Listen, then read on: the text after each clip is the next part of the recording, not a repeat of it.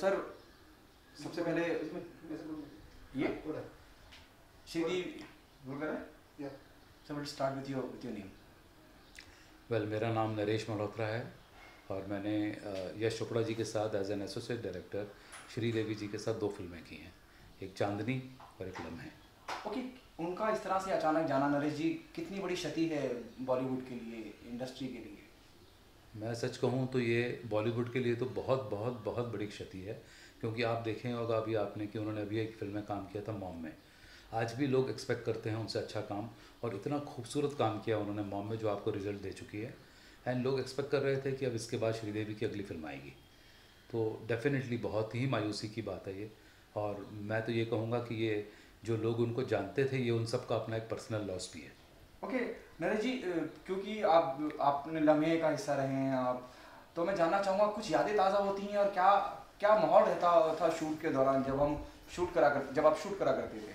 देखिए जब अ, मैंने दो फ़िल्में जैसे मैंने बताया कि मैंने चांदनी और लम्हे और चांदनी का जब हम लोगों ने पहला स्केड्यूल ख़त्म किया था दिल्ली में तो एक ऐसा इंसिडेंट हुआ था कि हम लोग श्री जी के साथ काम करके बहुत खुश थे बहुत अच्छा काम हो रहा था तो बस ऐसे ही एक बुके मंगाया था उनको देने के लिए और मैंने ऐसे ही एक लेटर लिखा था यूनिट की तरफ़ से उनको।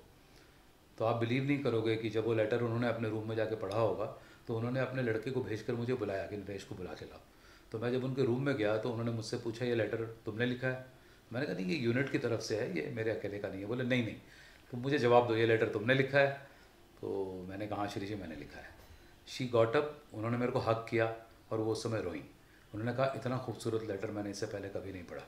और वो इतनी इमोशनल हो गई कि इतनी इज़्ज़त, इतना प्यार, इतनी मोहब्बत मिली है मुझे इस यूनिट से, जो आप लोग भी जानते होंगे कि यश जी कैसे काम करते थे। और डेफिनेटली मैं बहुत ही किस्मत वाला हूँ कि मेरे को यश चोपड़ा जी के साथ काम करने का मौका मिला और उसकी वजह से श्रीदेवी जैसे एक्टरों के साथ बात करने का मौका मिला, काम करने का मौका मिला, उठने बैठने का मौका मिला।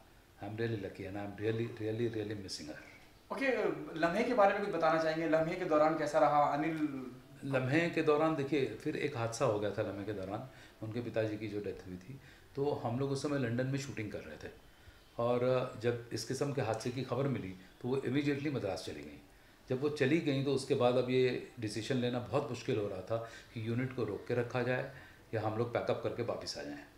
तो यश जी ने फाइनली ये डिसीज़न लिया कि यूनिट को रोक के रखते हैं और हम लोग यहाँ स्टे करते हैं। जब भी श्री जी वापस आ जाएँगी तो अपना काम दोबारा शुरू करेंगे। तो हम लोग वहाँ रुके करीबन 16-17 दिन। 16 दिन के बाद सत्रहवें दिन श्री जी वापस आई और नेचुरली वो आई तो हम सब लोग भी उदासी थे, परेशान थे सब और वो आई सबने उनको जो भी कंडोलेंसेस करने थे किए। लेकिन जब वो शूटिंग के लिए उनका पहला शॉट हुआ तो आप बिलीव नहीं करोगे, जिस तरीके से उन्होंने पहला शॉट दिया उस समय शूटिंग का, वो बिल्कुल भी ऐसा नहीं लगा कि इस आर्टिस्ट के साथ कोई भी किसी किस्म का कोई हादसा हुआ है। कोई ट्रेजेडी हुई है। वो बिल्कुल प्रोफेशनली इतना अच्छा शॉट दिया उन्होंने कि यूनिट में सबने खड़े होकर ताली बजाई। क्या उस उस, उस सीन के बारे में शॉट के बारे में बताते हैं? कौन सा शीट शॉट था बेसिकली कि अनिल कपूर जो है वो घर से निकल रहा है और ये सडनली देखती है कि वो जा रहा है और वो पीछे से भागती है। वो भाग के आती है दरवाजे के पास आती है और फिर वो देखती है कि ये रुका नहीं। अनिल कपूर वो मिरर में देखते हैं कि बैक में वो लड़की आई है लेकिन वो रुकता नहीं है चले जाता है और ये कुछ एक्शन करती है विच वॉज़ टोटली इम्प्रॉम्प्ट मतलब वो ये था कि वो कहा नहीं गया था उनसे करने के लिए वो उन्होंने अपने से ऐड किया था और वो इतना अच्छा ऐड किया था कि आज फ़िल्म में देख के मज़ा आता है और बार बार उनकी याद आती है मुझे कि क्या क्या चीज़ें वो अपने से ऐड करती थी फ़िल्म में काम करने के लिए और कितना कंट्रीब्यूट करती थी एक फ़िल्म के लिए ओके okay, नरेश जी मैं आपसे ये भी जानना चाहूँगा आप धड़क फ़िल्म भी यू नो जानवी को लेकर वो as a as a mother भी बहुत रेस्पॉन्सिबल थी श्रीदेवी जी। श्री जी उनके बारे में क्या क्या कहना चाहेंगे यू नो और कि ये एक एक एक दुख और भी है कि वो जानवी को बड़ी स्क्रीन पे नहीं देख पाएँगे। देखिए, ये बहुत बदकिस्मती की बात है बेसिकली कि पहले जब अर्जुन लॉन्च हुआ था, तब भी बोनी जी के साथ हादसा हुआ था। और आज जब श्री जी की बेटी जो है जानवी, और मुझे करीबन कुछ एक महीना भी नहीं हुआ होगा शायद, मैं उन्हें मिला था जे डब्ल्यू मैरिट में, मैं बाहर आ रहा था तो बाहर वो जानवी और श्री जी वहीं खड़े थे। तो मैं मिला उनको बहुत अरसे के बाद तो मैंने बहुत अच्छे से बात की, उन्होंने बहुत रिस्पांस दिया मुझे, बहुत अच्छे से जानवी को मुझसे मिलाया। ये कह कर कि ये बेटा, ये नरेश हैं और यश जी के साथ थे और उनके बिल्कुल ही बहुत इन्होंने हेल्प की मुझे काम में और सारी चीज़ें। मतलब बहुत तारीफ़ की उन्होंने मेरी। मैं बड़ा हैरान था कि आज तक इन्हों को वो जो जो बातें उस ज़माने में, उस टाइम पे इतने साल पहले हुई थी, वो सब उनको याद थी।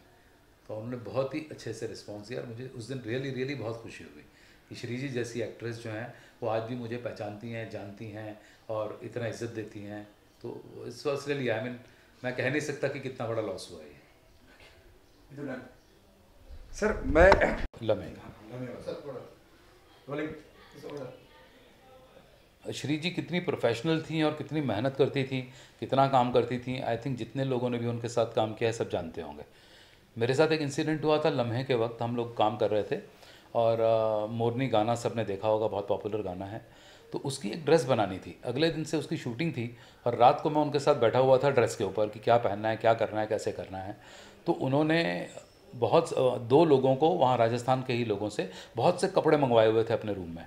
और उन्होंने जब देखा कि मैं बैठा बैठा बैठा बैठा थक गया, एक डेढ़ घंटा मैं बैठे रहा, लेकिन उनको थकान मेरी दिखाई दे रही थी और वो देख रही थी कि मुझे नींद भी आ रही है और मैं बहुत थका हुआ हूँ तो उन्होंने मुझसे पूछा, नरेश, तुमको कितना यकीन है मुझ पर? मैंने कहा, क्यों ऐसे पूछ रहे हैं आप? तो उन्होंने कहा कि, अगर तुम्हें मेरे पर भरोसा है तो तुम जाओ और सो जाओ। मैं प्रॉमिस करती हूँ कि कल सवेरे तक ये ड्रेस तुम्हारी रेडी होगी। मैं बड़ा हैरान भी हुआ और ये भी मुझे लगा मैं जाऊँ, नहीं जाऊँ, मेरी ज़िम्मेदारी है। बट उनके नाम पे, उनके कही हुई बातों की वजह से मैं फाइनली वहाँ से चले गया। और अगले दिन जब हम लोगों ने देखा कि वो इतनी खूबसूरत ड्रेस पहन कर आई कि उन्होंने क्या किया था, जो साड़ियाँ आई थी, जो कपड़े आए थे, टुकड़े टुकड़े उसमें से निकाले कि यहाँ के लिए कोई और साड़ी थी, नीचे घाघरे के लिए कोई और साड़ी थी, इधर के लिए कुछ और चीज़ निकाल के वहाँ लगाई हुई थी। इतनी मेहनत का काम किया हुआ था। पूरी रात उन्होंने उस टेलर के सर पर बैठ अपनी पूरी ड्रेस बनवाई। मैं सचमुच ये बात कभी नहीं भूल सकता और मैंने उनको बहुत बहुत थैंक यू किया नेक्स्ट डे कि श्री जी, वाकई आपने तो कमाल कर दिया है। आप नहीं थकी क्या? तो वो सिर्फ़ हँसी और मुस्कुराई और बोले, नहीं, मैं काम के वक्त नहीं थकती। Thank you so much Naresh ji. Put the fan on thank you so much sir